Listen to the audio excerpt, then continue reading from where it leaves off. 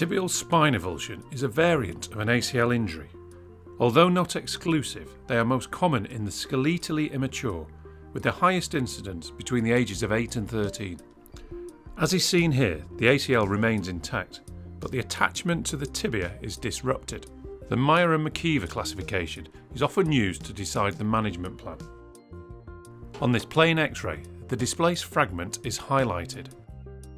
The MRI scan clearly shows the ligament to still be intact. This is the dark structure running diagonally. But its bony attachment to the tibia is displaced, with the anterior portion elevated, lifting up like a trapdoor. On a coronal CT, the bony fragments are easily visualised. Making sure the intermeniscal ligament is not caught in the fracture site is the key to reducing the bony fragment. This is the structure that is being probed. On this axial MRI, the intermeniscal ligament is seen connecting the anterior horn of the lateral and medial menisci.